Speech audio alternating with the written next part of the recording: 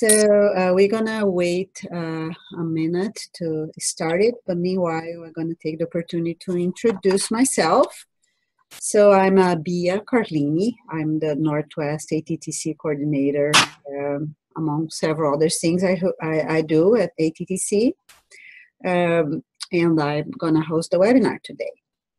Uh, as the slide says, we are gonna take questions in the end but you can type there anytime. We are just gonna uh, get them all uh, as we finished.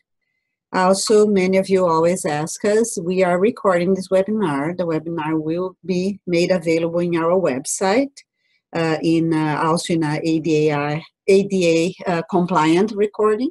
Uh, usually we take two days uh, because of some uh, travel from our staff. We expect to have that up in our website by Monday.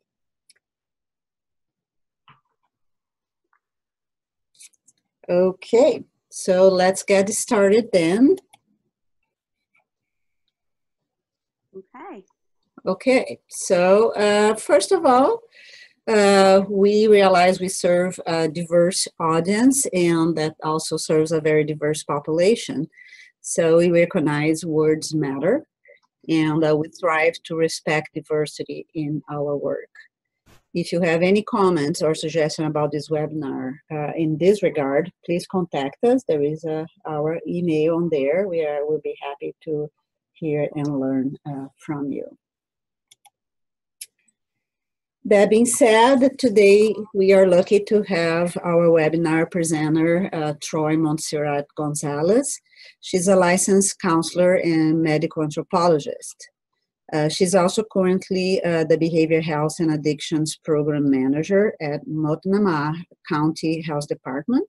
She also maintains a private counseling and coaching practice in Portland, Oregon, where she specializes in working with human services uh, profession. Uh, so that being said, uh, we are now transferring the the control of the screen to you, Troy, and thanks so much uh, for uh, doing this. And uh, you can get it started after you click. Wonderful. Okay, great. Thanks, Bia. So can you hear me okay? Yes. Good, okay. So hi everyone. So I just want to thank you all for joining today. So the the webinar, as you can read, uh, is called Healing the Healer. So today we're going to be talking about employing principles of neuroscience, CBT, and MI to understand and treat compassion fatigue among human service professionals. So I also just want to unpack our alphabet soup a little bit and not assume that anybody have any pre-existing knowledge. So CBT stands for cognitive behavioral therapy, and MI stands for motivational interviewing. So I'm really excited to present this information to you today. I also want to let you all know that I'm presenting this information very much for people to use with themselves and with their colleagues in the workplace. So I'll be using sort of us as a pronoun very frequently. Um, I'll also be presenting information about things like compassion fatigue, concepts of resiliency, self care in light of neuroscience research, and giving us an opportunity to benefit from some of the tools and techniques that many of us currently use or may have used before in our work with clients. So, too often um, we think of self care or healing from compassion fatigue as something that we do outside of our work time, something that we're sort of tasked to do in our personal lives for the benefit of our professional lives. But I think for this type of health and wellness in the workplace to be really successful and effective, we need to develop some understanding and some practices that we can really employ in the workplace in the very moment that we're experiencing stress or difficulties. Um, and these tools need to be accessible, intuitive, and not really very resource or time consuming. So hopefully uh, we'll be learning things that can support that work today. So why this topic? Why now? Why again? Many of us probably already know much of what I'll be talking about. Um, and like I said just now in the intro, some of this information will probably be, probably be new, but likely we'll be reminding ourselves of what we already know and what we already do. And this practice of learning new information, and also um, practicing what we already know coordinates or kind of piggybacks on the idea of hold on just a second, I just had a little bleep in my computer. Here we go. So piggybacks on this idea of plasticity. Um, and I think it's helpful to think of plasticity in two different ways. So we think of plasticity in terms of what we often hear is plasticity in terms of neuroplasticity. So now that brain research and neuroscience are becoming um, more prevalent, more in the forefront of our knowledge as a society and more common knowledge, not just professional knowledge, we see this word plasticity. So, as it's typically used, plasticity refers to this ability of our brain and central nervous system to change in response to experience throughout our entire lives, not just during certain developmental phases. I think it's also helpful to think about the term behavioral plasticity. I think of behavioral plasticity as our ability or an organism's ability to change behavior and make changes in behavior from exposure to stimuli such as changing environmental conditions. And those conditions can be things that happen to us or things that we facilitate and do on purpose. So I believe that this topic of compassion fatigue, workplace resiliency really ties into this notion of plasticity. Because what we'll be doing today is supporting the plasticity of our brains and central nervous systems just by sitting here, um, just by taking the time out of your very busy schedules to sit here and consider this information today. Um, I think you're supporting your brain and central nervous systems in in developing um, new pathways that will be supportive of of your mental health and wellness at least i hope so so the next slide. So in terms of compassion fatigue, we'll talk a little bit in the next slide about exactly what that means. But first, let's talk a little bit about why. Um, I think in the human services world, in the work that many of us do, we're exposed to what we call acute and ongoing stress. So acute and ongoing stress um, has sort of has a cumulative, a cumulative effect on us and on our bodies and on our relationships. So it's not a surprise that stress is bad for us. Um, many of us work in cortisol driven environments, and I don't even think that's unique to human services professionals, but many of us work in very stress and crisis laden environments. And this is because we're either working directly with folks who have been traumatized or are being traumatized, going for, through di- very difficult, painful situations. It can also be stressful to work in the organizations in which we work. Um, I always say, as well intentioned and as hardworking as our organizations are, for many of us, I think too often that we manage to succeed at work in spite of our work environments, not because of them. So, this is another type of chronic stress that can have a cumulative negative effect on us. Um, sometimes it's referred to vicarious traumatization, especially that, that work that we do when we're working with clients who are traumatized.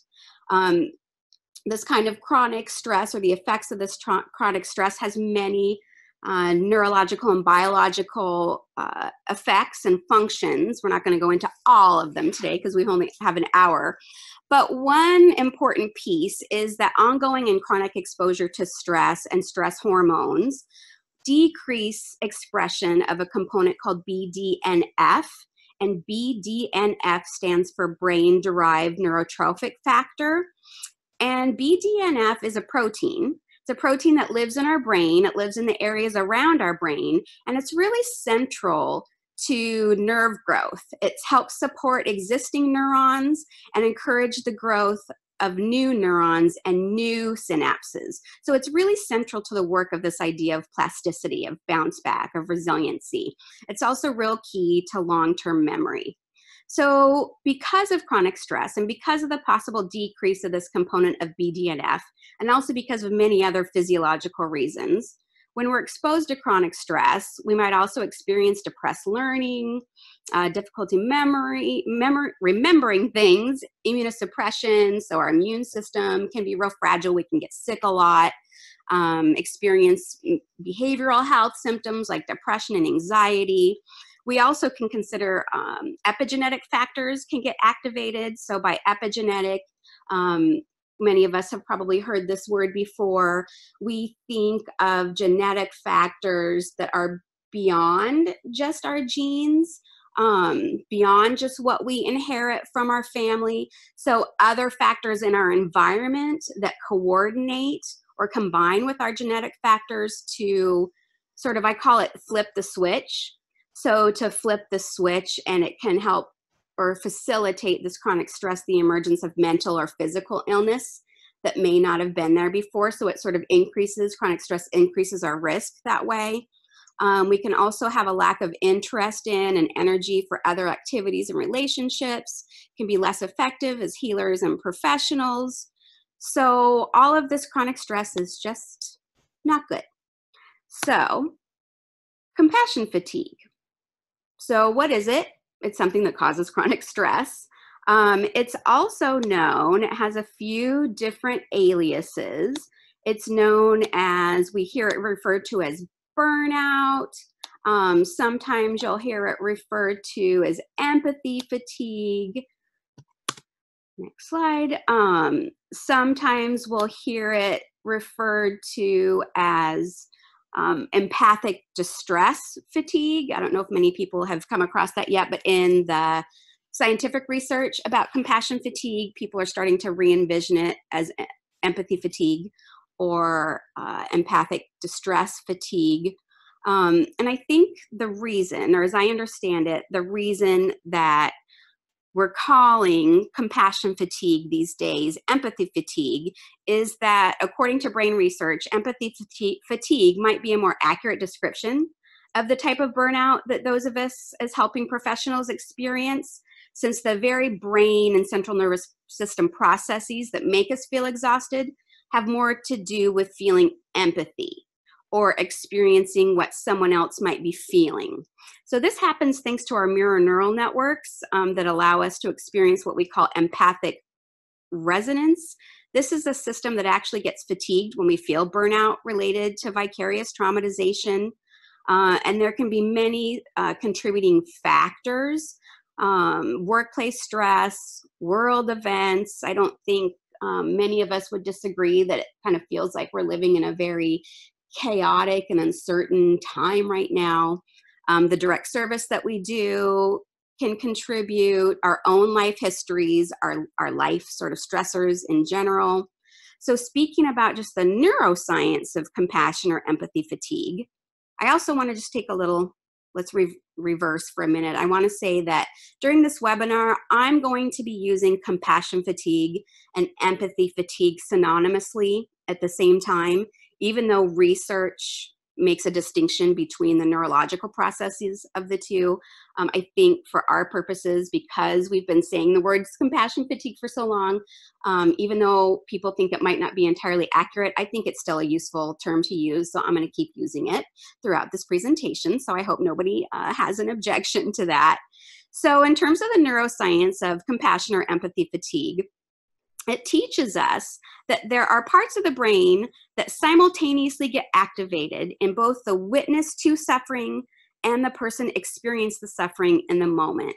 So the ACC or the anterior cingulate cortex and the anterior insula are two areas of the brain that actually get activated simultaneously by both parties. So it sort of helps biologically explain why we might experience empathy fatigue because we're actually experiencing similar thoughts and feelings that the traumatized individual also is experiencing. And that's very key to our our ability to feel compassion. So it's also supportive in many ways.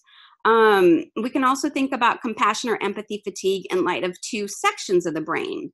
So the front of the brain and the lower brain so the front of the brain is often referred to as the reflective part of the brain. Um, the reflective part of the brain deals with our abilities to problem solve to communicate, to regulate our emotions, just that sort of higher functioning. The lower part of the brain is often called the reactive part. It's the survival or the flight or fight portion of our brain. Um, and that lower part of our brain deals with crisis, stress, um, very, very basic survival. And this reactive part of the brain gets activated uh, when we are very stressful or in times of crisis. Um, and I think many of us, like I said, because we often work in crisis laden environments, this part of the brain gets very, very uh, well developed. So, neurologists teach us that neurons that fire together wire together. So, when it's continuously called upon and activated, this reactive part of the brain, we can get stuck in reactive mode. So, we'll notice this because we will find ourselves snapping at others, we're seeming short tempered, we're reacting to things we wouldn't normally. We really see the subsequent systems of compassion fatigue. This emotional exhaustion can also look like job dissatisfaction, hopelessness, detached responses to our families. Um, and so it, it affects us or has the ability or capacity to affect us in many ways in our lives. I also want to, you'll see the very bottom bullet point of this slide refers to the illness narratives um, and refers to the work of Dr. Arthur Kleinman. So, as a medical anthropologist, when I was in graduate school, I studied with a, a doctor and a professor named Arthur Kleinman. And one of his uh, major contributions to the field was that he did this really cool work where he made the distinction between disease and illness. And I think this his work um, provides a nice framework for us as we're talking about how our work experiences impact and sort of intersect with our life experiences. Uh, Dr. Kleinman made the distinction between the two, between dis- disease and illness. And he posited or thought that disease referred to the very biological basis of poor health and in the case of compassion fatigue, I would say the biological or the brain and central nervous system and stress hormone bases of compassion fatigue. And then there's this illness component. So for Dr. Kleinman, the illness component was the stories that people tell themselves or the narratives that they have around their health, around their wellness, which are often culturally and socially situated. So, for example, um, early on in my career, um, I identify as someone of Native descent. And so I worked in an organization, some of you may uh, know it or have heard of it. And who knows, maybe some of our participants may work there now. It's called NARA, the Native, Amil- uh, Native American Rehabilitation Association. It's in Portland. So the work that I was doing with um, the traumatized individuals that I was working with also really intersected with my own understanding of my own mental health and our mental health as a community. Um, so I think that's a really an interesting paradigm to think about how we consider our own mental health, our mental wellness, and how it intersects with our life experiences. So, for the next slide. So, again, um, talking about the relationship between our personal histories and our professional choices and behaviors as we're thinking about compassion fatigue, as we're thinking about how to heal and support ourselves and others from healing from compassion fatigue and becoming or facilitating our own resilience, I think it's helpful to think about the connection between ourselves, our histories, and our professional choices and behaviors. Um, early research shows that adults with adverse childhood experiences or multiple adverse childhood experiences are more likely to choose a helping profession as a career. I think um, I'm really excited for more research to be done on this. There's not a lot out there, at least not a lot that I could find. Um, there was one study in 1993 that studied social work students. So most of it had, has been done in the realm of social work. Um, but I would imagine that we're going to find that that information that folks with adverse childhood experiences are more likely to choose a helping career also applies to many different kinds of helping professions. Um, so just even this correlation emphasizes the importance of the need and the opportunity to take good care of ourselves at work and how it might offer us subsequent opportunities for growth and healing. So we can consider our career choices as opportunities for corrective emotional experiences or to have appropriate responses to inappropriate situations um, to facilitate our neural and behavioral plasticity to potentially heal any attachment wounds um, folks might experience who also are healers themselves or human services professionals themselves. And just the healthy we are, the healthier our professional communities are, and the better quality of care that we can provide for our clients. So, thinking about thriving, we've kind of sorry to be such a, bar- a bummer and harsh everybody's mellow. We've been talking about really negative concepts up until now. So now we're going to start talking a little bit about what we can do to support ourselves in thriving and being resilient in our workplaces and elsewhere. So we're going to talk about MI and CBT and neuroscience and how we can apply these sorts of ideas to ourselves in our workplace environment. So I always think that, I mean, it's important professionally to turn the lens outward, right? And to be um, good professionals and have appropriate boundaries and and do do all that in the workplace and have skills and techniques that we can offer our clients um, and offer uh, other staff members if we're in leadership or, or supervisory positions. Uh, but i also think that we can use many of the tools that are employed with with clients or patients that we can employ with ourselves so, specifically, I think about motivational interviewing and CBT or DBT as really having some helpful uh, thoughts and practices for us um, as practitioners and providers. So, when we look at motivational interviewing, uh, one of the core sort of components of motivational interviewing or MI is this notion of ambivalence. So, as we're thinking about, and we'll talk more about this later on in the presentation, developing our own wellness practices, developing our own practices to support ourselves from healing and being resilient in the face of workplace stressors and compassion fatigue. If we can think about our own ambivalence related to self care, related to making changes, um, and those of us in the helping uh, medical social service professions, I think, really understand and are aware of how difficult change really is for all of us. I always sort of say, like when I'm doing MI trainings, that um, when talking about ambivalence, I know personally that it's not good for me to eat Ben and Jerry's and chips and salsa for dinner, but as a bachelorette, I get to do that as someone who lives by myself, doesn't have anybody to cook for. Um, but I also know that it's not good for my health. I also know that, you know, I want to live a long time. I have both of these sort of pro and con for change. Um, these arguments going on in my brain. I know I should change so I can live longer, be healthier, fit into my skinny jeans. Um, but I know that Ben and Jerry's and chips and salsa might be part of my coping skills. um, so I think if we take that sort of notion of ambivalence and apply it to our own thoughts about self care and wellness. Um, so, we all read a lot. There's a lot out there in the world about self care. I don't think we're suffering from a lack of ideas or information about how to care for ourselves.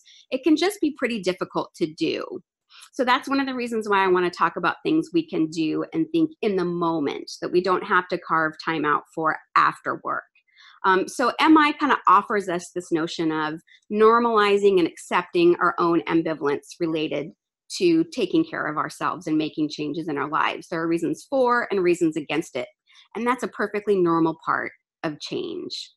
So, also thinking about from MI readiness to change, considering as we're considering what types of processes or practices we might institute. Again, we'll talk more about the specifics of that later thinking about our own readiness to change.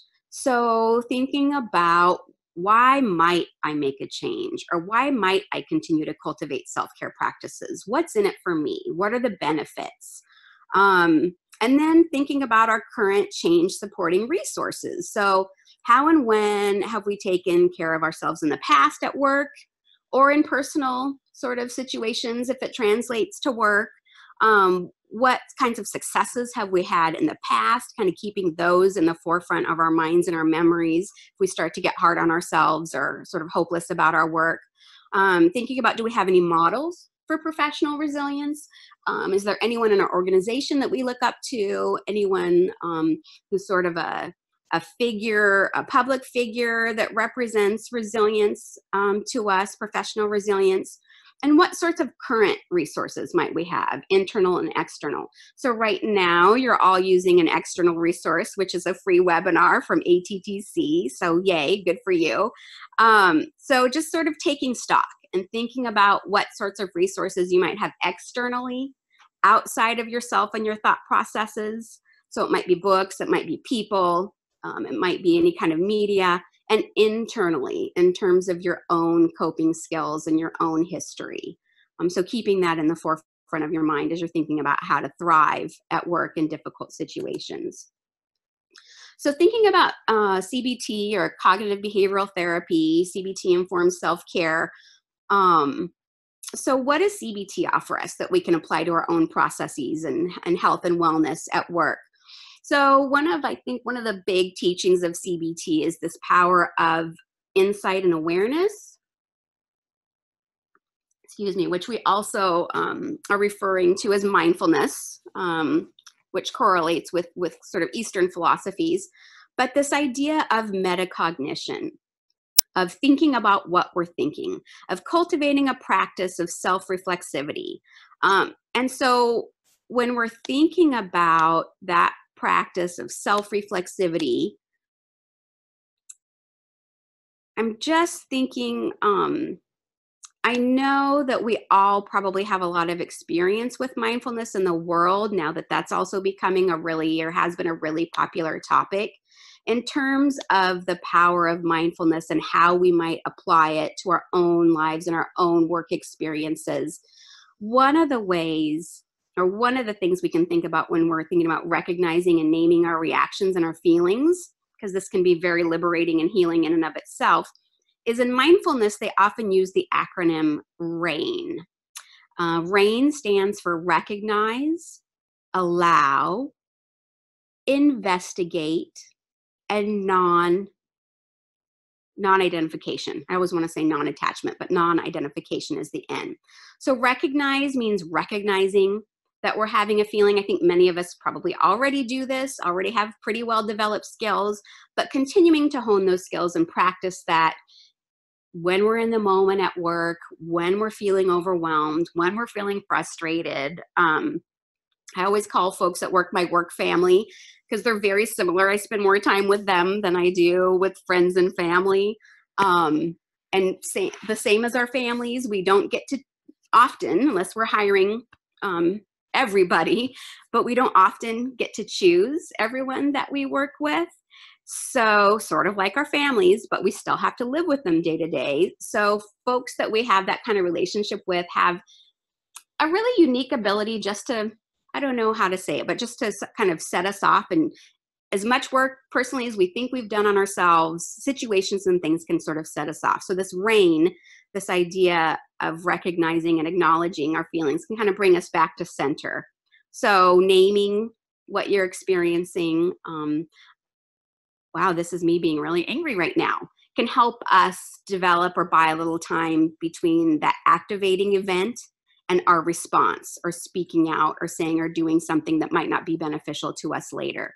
So the recognize, um, so the allow is rather than push a negative emotion or push a negative experience away, just to kind of allow that this is something that's happening, not necessarily indulge, but just allow it rather than push it away. Because sometimes, as we all know, resistance or pushing away merely makes the opposing force stronger um, and think about investigating. So, thinking about why am I feeling this way right now? And of course, we can't all do this in that split second, but maybe later on in the workday or at another time, um, why did I have that reaction? Are there physiological factors? Um, am I getting enough sleep? Am I eating well? Um, how's my physical health? And also, what do I really need? Where did that come from? What sort of needs in the workplace might not be getting met right now? Um, and then this N, this non identification. So remembering that we are not our thoughts and emotions, um, that our thoughts and emotions, I always think of they are to ourself or ourselves as weather patterns are to the planet. They rise, they fall, they come, they go. So that's one way of sort of considering or having non identification about sometimes some of our experiences that can be difficult in our professional life and our reactions to them. Um, also, this idea um, that's very uh, prevalent in CBT this idea that we can't control others very frequently, but we have more of a chance of controlling ourselves. We have more of a chance of controlling ourselves and our own environment and our reactions to what's happening. So, thinking about um, this idea, one of the things that helps me um, at work when I'm thinking about and has helped many of my clients um, when thinking about challenges or impossible challenges at work, thinking about right versus effective. And it's something they say frequently in DBT. Do you want to be right or do you want to be effective? Because we can't always be both.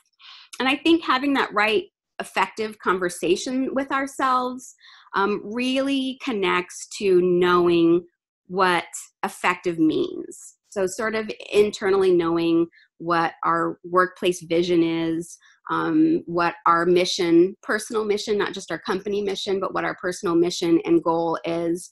Um, for me, um, that's my integrity as a woman, um, as a woman of Native descent, as a professional. So when I find myself dysregulated or really upset at work, and I don't really have the capacity to use that front portion of my brain, that higher reasoning, when I'm dysregulated and and in the moment, um, that to me can often be my my compass, my my north sort of true north point that I can easily come back to is do I want to be right or do I want to be effective? What does effective mean? And for me, it, it means having professional and personal integrity. So figuring out what that might be for you um, is a way to help you develop some resiliency, help all of us in our workplace. So let's move on to talk a little bit more about thriving and talking about self care basics. Um, so I have this quote up here from, um, well, attributed to Buddha. I don't know him. I never talked to him. So, um, but it says, Our sorrows and wounds are healed only when we touch them with compassion. So, with research about compassion fatigue or empathy fatigue, um, one of the core components or practices that has been shown to be healing and preventative for event for empathy fatigue or compassion fatigue is having compassion for ourselves and for others. So when I think about compassion for ourselves and others, just to unpack that a little bit, that can look like speaking kindly to yourself. Um, it can think about having non isolating thoughts. So, non isolating thoughts might be remembering that this is an appropriate reaction to an inappropriate circumstance and remembering that anyone might feel this way in this circumstance or remembering that other people have gone through similar experiences and circumstances. So, having those sort of compassionate feelings for yourself to me also ties into having non isolating feelings. Um, so, cultivating that compassion. And then connection. That's another sort of component or practice that has been shown to be healing for compassion or empathy fatigue. So, connection can mean connection to others in the workplace, other people that are safe and supportive, inspirational, other colleagues. So, really just sort of fostering those opportunities for yourself. Um, and then coping. So, developing good coping skills and health supporting practices for yourself in the workplace and outside of the workplace. So, in thinking about the neuroscience of self care, um, again, like we said, like I said earlier, this idea that neurologists teach us that neurons that fire together wire together. So, cultivating good behavioral health, I always like to call it behavioral health hygiene. um, can be really strengthening to the frontal part of your brain and the systems that regulate our ability to reason and use compassion um, and help to balance those higher reasoning skills with our flight or fight or flight. So the practice. So I think there's a reason why we call it practice, remembering that it's not just something that happens once. Good behavior, behavioral health hygiene, whatever it looks like for each of us, is something ongoing that you practice, just sort of like flossing a couple times a day, something that you frequently do. It's not just kind of a one and done thing. So, just thinking about sort of what we've done today, what we've talked about today, or what we're talking about, we're not just sitting here passively. So, we're contributing to our own wellness practice. We're promoting our own neural and behavioral plasticity. So, we're acquiring new information, exposing ourselves to familiar information that facilitates neural integration and knowledge, beliefs, experiences supporting our overall health and well being. Oh, good. I'm seeing a good question come in. We'll get to that in a minute. Um, oops, I did not mean to do that. Let me see if I can back up. Oh, I did it. So, facilitating neural integration of knowledge, beliefs, and experiences that support our overall health and well being. Um, we're developing new neural pathways and new neural networks potentially by just sitting here considering this information, envisioning ourselves doing healthful things. We'll talk more about what those things might be for each of us. And by doing this work, we're predisposing ourselves toward resiliency and toward bounce back at work. And let me just, okay, next slide. So, thinking about moving forward and sort of getting to these questions about what good behavioral health hygiene might look like. Um, if we were all in a room together or if we had an ability to be more interactive, I would ask all of you to tell me something, and maybe it's a question we'll pose at the end um, that you do that you think supports your own behavioral health and wellness. Um, so we might think about um, developing our own board of directors. That's how I call it, uh, trusted others. Um, those might look like healers, um, therapists, coaches, um, whatever that might look like for you. Um, for me, I have a therapist. I always say I'm a I'm a proud provider and consumer of behavioral health services. Um, and I have a business coach that I work with when I think it's useful um, whatever that looks like for you um, it might look like um, whatever the work you do with the therapist it might look like insight work i really like um, this notion of somatically oriented treatments for um, those of us who are survivors of trauma um, or even working through workplace trauma excuse me Um, so I think somatically oriented treatments are getting a lot of press. There are a lot of different kinds. Um, Hakomi is a big one.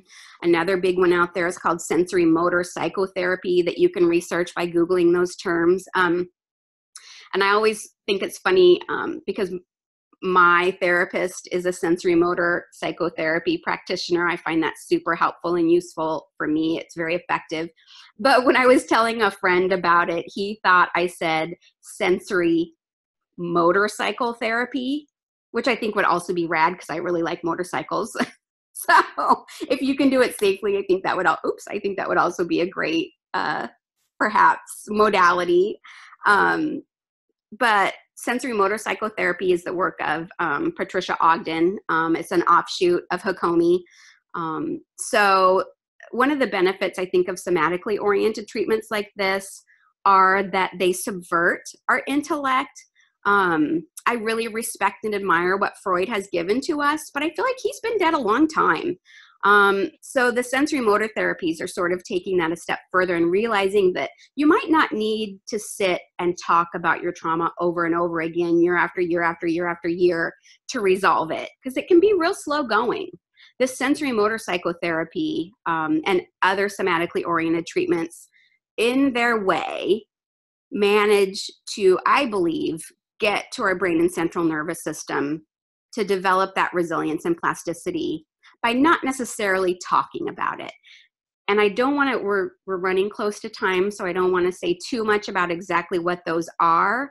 Um, but if you want, I can also give Aaron and everybody else resources. I'll give you a resource list um, that folks can go to um, and sort of do their own research about these kinds of treatments and whether or not there are practitioners in your area.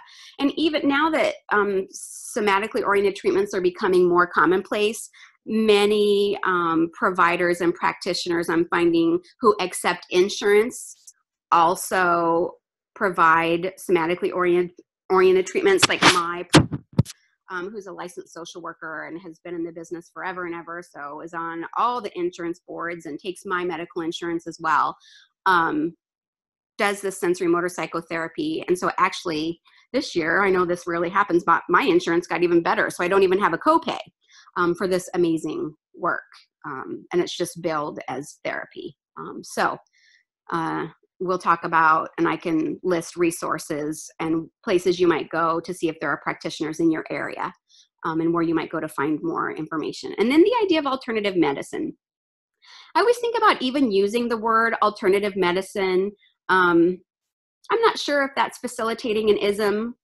Um, because I would imagine that the things that we consider alternative, like Chinese medicine and acupuncture, um, I don't know that that's very culturally appropriate. I'm sure in China they don't consider acupuncture alternative, and I also wonder if in India they consider if they consider Ayurvedic medicine alternative. Um, maybe traditional medicine might be a better, more appropriate uh, name. But whatever it looks like to you, whether it's alternative medical sort of practices or healing practices. Um, it might be massage, it might be Reiki. Um, ooh, I see somebody saying you can call alternative medicine something else. Connie Hansen, I'm not going to click on that just because if I do, I'm afraid I'm going to get lost because I don't know how to run my PowerPoint very well. But we'll get to that at the end. I want to know what you said, but I can't read your whole question from here. So um, we'll see what Connie offered for an alternative to call it that. And thank you for that. So, whatever those healing modalities might look like for you. Um, oh, complementary medicine. Thank you. Yes, complementary medicine. So, whatever might also complement the other healing resources or medical treatments that we go to. Um, I also think about psychonutrition can be another resource or way to condition our mind and heal our central nervous system. Um, research is showing that there are dietary factors that are powerful regulators of neuroplasticity and contribute to the health and regulation of neuronal activity. Um, like anti inflammatory diets. Again, you can go on the web and look up anti inflammatory diets. And again, I just want to say I'm not a physician, I'm not a dietitian, so before you make any dietary changes, check with your with your provider. Um, but this idea of anti-inflammatory diets of amino acid therapies to support and facilitate production of dopamine, serotonin, um, other neurotransmitters. Also, um, research has shown that remember that that so funny. I always want to call it BDSM, but the um, the the brain factor, the protein that I was talking about earlier, um, that helps to regulate and build our nervous system. That also has been shown that physical exercise increases the facility the body's facilitation and production of that component by three threefold um, consistent physical exercise and in that research physical exercise meant aerobic exercise of 30 minutes or more five times a week so, different kinds of exercise can facilitate different kinds of healing. So, really just thinking about a holistic approach to our wellness at work. Um, so, we already talked about illness narratives. I felt like we had to give a shout out to the scholars and the authors who teach about interpersonal neurobiology, trauma, mindfulness. There's so much wonderful work out there that's available to us. Um, I also want to say that speaking about interpersonal neurobiology or our own experience of, of trauma or difficulties at work and putting it in a biological framework or a scientific framework. So, even for those of us who aren't practitioners of those methods, I think it can be really um, unstigmatizing and approachable. I know that there's work in addictions talking about using the importance of using medically accurate language to talk about language or to talk about addiction and how that can be very um, fostering of healing for folks and unstigmatizing. I think the same thing about our behavioral health and our behavioral health in our workplace and treating our own compassion and, and empathy fatigue that if we're able and if we have access to the resources, thinking about those sorts of processes um, in medically accurate or biological language can be helpful um, to healing. So I'm not going to read through all the authors and the scholars um, that I mentioned here, but just because this is going to be up on the website as well, um, and this is going to be um, available to us, I felt like there were people that we just had to give a shout out to that we couldn't end without talking about. So, just a quick through, um, like run through. I'm sure many of you are familiar with the work of people like Bonnie Badenoch, who writes the mindful the mindful therapist. I think she's based in Eugene, Oregon. Uh, Tara Brach's Radical Acceptance. Um, these folks like Bessel van der Kolk and Babette Rothschild, who talks about who talk about how trauma and experiences live in our body.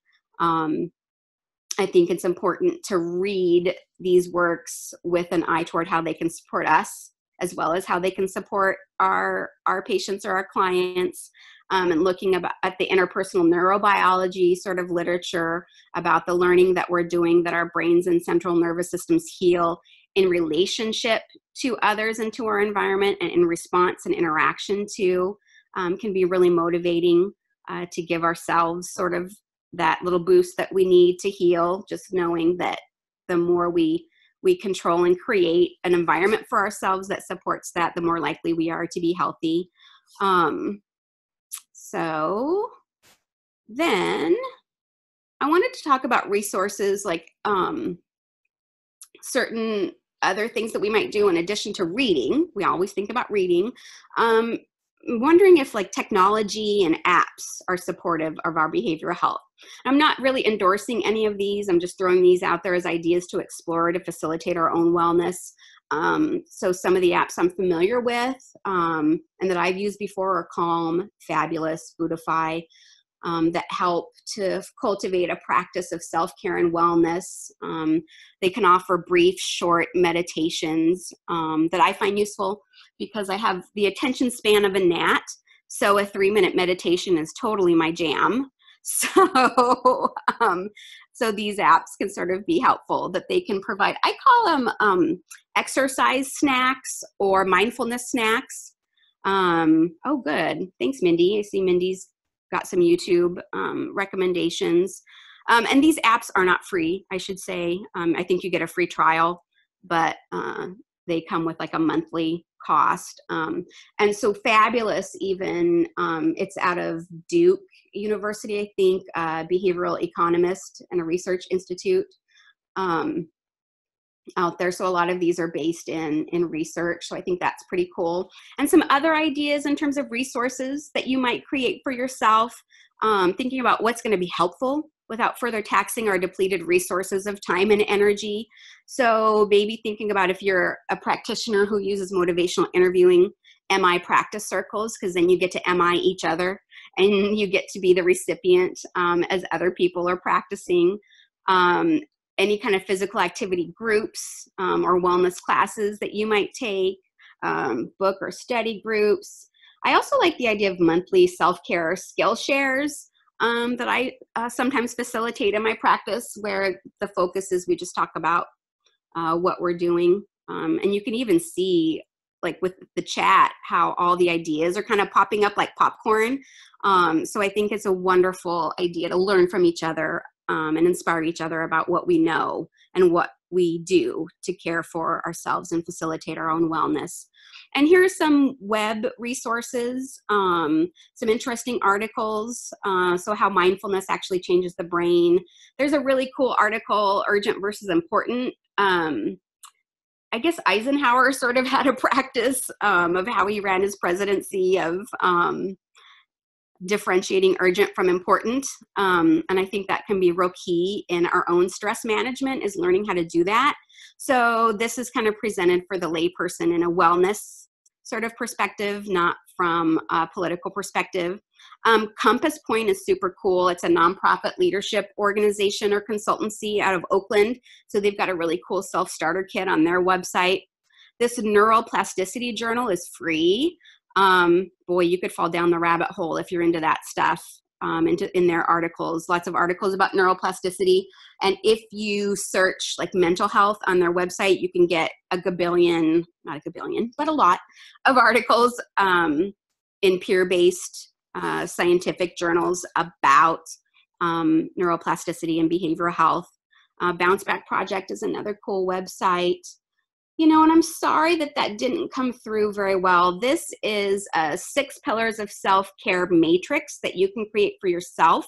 Hold on, let me go to my copy so I can tell you what the words that got cut off say, because I can't remember right now. Hold on. Um, and the other thing, I don't know, um, Bia and Aaron, if I have the capacity to um, put a PDF up, but if I do, I will put a PDF up um, on Hello. Yeah, not. Uh, we can uh, put it up later uh, in our website, but not uh, right now. Not right now, but later. Yeah. Okay. So what I will do is provide for later um, a PDF of a blank um, copy of this um, six pillars of self care um, but you can see that it's broken up into these six columns rest, nourishment, cleansing, grounding, energy, and protection. Might be a little too woo woo for some people. So if it is, just substitute those categories with something that's meaningful and resonant to you. Um, hold on, let me bring this up. And then uh, the blank sheet. So on the left, the words that are cut off are the first row is physical, the second row is mental, the third row is emotional, and the fourth row is spiritual. And so just thinking about how to fill in each of those matrices is kind of a fun exercise for our own self care. Um, and then here is my contact information. If you have any questions or comments about uh, anything I presented today or um, my work at all, um, there's my cell phone and my uh, email address. So I think we're at time, Bia. Is that right? Yes, perfect. Uh, that that's wonderful. Thank you so very much. Do I need control? Okay, so I'm getting control back of uh, our slides. So uh, before we go into uh, any questions, comments, discussion, uh, I want to reiterate of some of you that uh, always uh, are attending our webinars, we need your feedback uh, really well to keep this work uh, supported. So you're going to receive uh, two surveys, one right after the webinar and then another one in a month. We really appreciate your feedback uh, on it and help us to uh, keep uh, doing what we are doing. Okay, so uh, we are gonna go now to questions. You just type them in uh, the chat box. So we say, we see we already have some here. Uh, just to clarify uh, some logistics here. So we cannot send things by email. Everything is gonna be uh, till Monday the 29th in the website uh, we uh, do not offer CE for presentations uh, today, just for clarifications. Um, okay, let me go back. Okay. Okay, sorry about that. okay, so for questions, so uh, a first question that is not on the logistic domain, uh, it relates to giving an example of what uh, would be um, a good behavior health hygiene. So, uh, okay, Kelsey, thank you for that question. Um, so, in terms of good behavioral health hygiene, I feel like we could probably have a whole webinar just devoted to that. Um, so, sorry I had to skip over that so quickly. So, an example of good behavioral health hygiene, and it's going to be different for each person, of course, whatever's resonant for you and effective for you. Not every human body responds the same way to every medicine or healing intervention. But good behavioral health hygiene might be going to your therapist once a week. Um, good behavioral health hygiene might be cultivating a practice of positive self talk, like we were talking about early, speaking to yourself compassionately. Um, good behavioral health hygiene for some of us is um, physical activity, moving our body, because we know um, that it's good for our, our individual brain and central nervous systems, and, and we can do that. Um, so, good behavioral health hygiene is sort of any kind of a consistent practice or habit that you develop and cultivate that's supportive of good behavioral health or mental health. So, um, so those were some examples, just like exercise, eating well, maybe good sleep hygiene. Maybe you've heard that. Um, going to bed at the same time, which I'm terrible. Many of us are not so great about.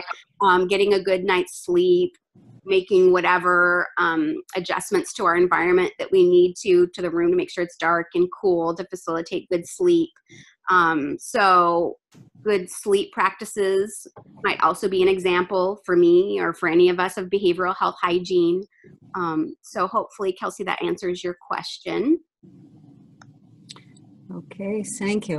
Uh, I want to uh, clarify that I spoke too soon. So, uh, Eric McGraw, that works here with us, sent the our address, uh, our uh, website address, and uh, she will also send to everybody uh, the evaluation plus uh, slides. Uh, when she says PDF means the six pillars document and all the information on Monday. So that will be, you'll be getting this, everything on Monday. that being said, I also had important opinion or like uh, suggestions here of uh, free apps.